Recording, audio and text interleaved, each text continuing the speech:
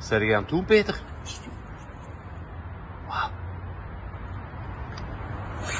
De Brugge heeft gevraagd om de training van Benfica te volgen. En zijn juist bezig met de tactische opstelling.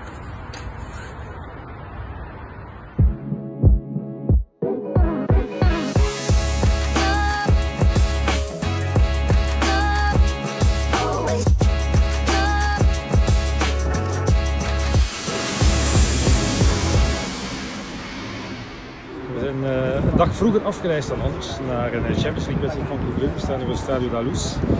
En dat heeft zo zijn redenen. Eh, het is op vraag van Club Brugge. Club Brugge wil eigenlijk een beroep doen op onze expertise over de tegenstander van eh, morgen Benfica. We hebben net de persconferentie bijgewoond van eh, Scott Parker. Korte conclusie. Heeft eh, al moeten incasseren. Ja, Eh, heeft moeten incasseren. We hebben een beetje medelijden met de man. Niet eigenlijk. abnormaal. Ja, ik voel, Fijne man. Ik voel de pijn. Eigenlijk, ik voelt, als je hier zit, voelde de pijn van de man die daar. eh, die Jij weet wat het is, verliezen als trainer. Dat, dat kan ik u zeggen. Gert is aan het uitleggen tegen een journalist van Record. Echt waar. Gert is nu op dit moment aan het zeggen dat Benfica de Champions League kan winnen. En Kijk, kijk naar die mensen aan de kop. Wie gelooft dat dus? I think so too. I think, I think Benfica can win the Champions League. Het is zover. Ik heb de meest vooraanstaande krant van Portugal gehaald. Record, dat is echt wel is de meest verkochte krant. En er staat niet iedereen in, maar ik heb het gehaald. En ik zeg hier letterlijk Benfica pode surprender. Wat wil zeggen dat ze zouden kunnen verrassen. Dus ja. Hij krijgt een geweldige paas. En kan hij nog afleggen. Doet het zelf. Oh. Oh la la la la la la. Ramos kapt zich vrij. Nog Ramos.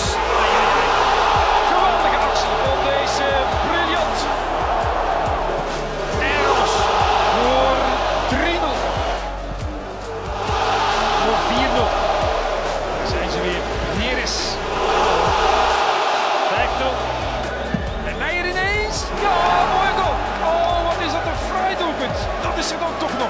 5 tegen 1.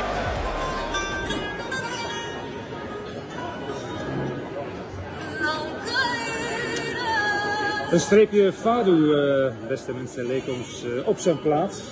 Bij de ja, begrafenis eigenlijk toch van de Champions League campagne van eh Club Brugge. Gert, we gaan niet te streng zijn. Weilen Remo Goethals zei op een ambulance moeten niet scheten. En ja, dat is Club Brugge op dit moment toch een beetje. Deze mevrouw leggen even het zwijgen op.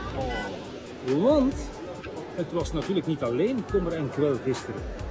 De voetballiefhebber in ons heeft natuurlijk ook wel genoten van een paar fantastische doelpunten. Welke goal was de mooiste? Eh, dan toch maar de eerste. Dan opnieuw Rafa. De onvoorspelbaarheid. De genialiteit. Het feit dat hij eigenlijk achteruit moet leggen, maar dat het toch zelf doet.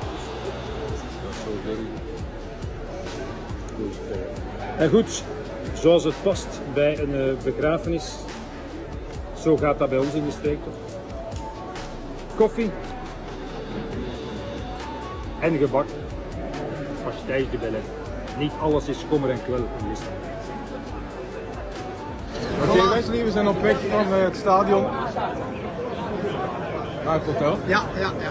Voetbal is en blijft een heel vreemd spel. Chelsea heeft eigenlijk twee goals gemaakt. Chelsea kon niks. Dortmund was in bloedvorm. Ja, zo werd het wel in de media meegegeven. Hè. Eh, Chelsea wint. ja, Chelsea kan niks, maar goed, dat, dat klopt natuurlijk wel niet.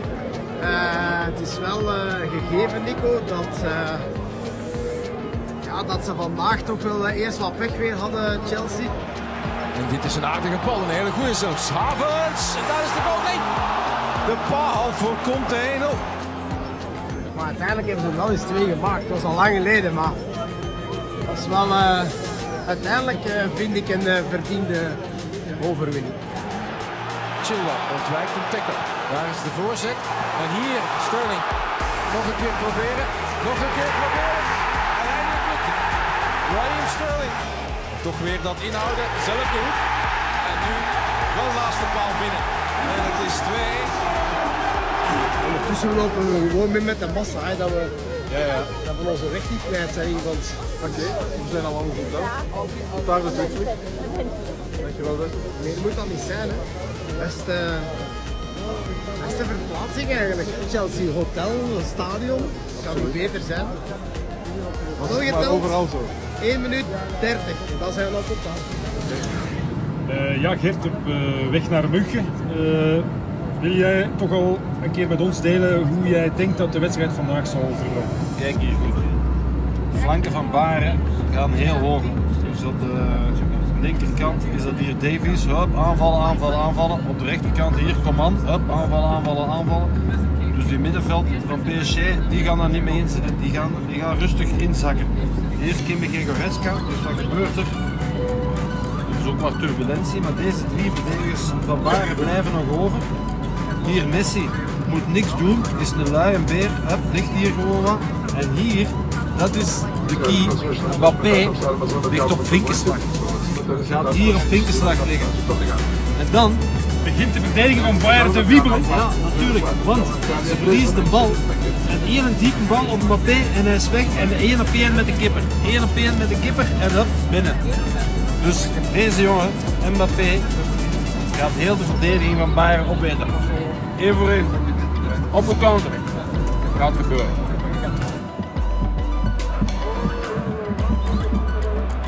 Verdedigen, oh, Sommer, wat doet hij daar? Vitinha, en wat een weggeeft, nee! Hij redt hem op de lijn! Hij redt hem op de lijn, net als afgelopen weekend. Staat daar weer Matthijs de Ligt. Laat hij, laat hij zomaar lopen. Goretzka legt af, Choupo-Moting nu wel. En het is een doelpunt, ja zeker.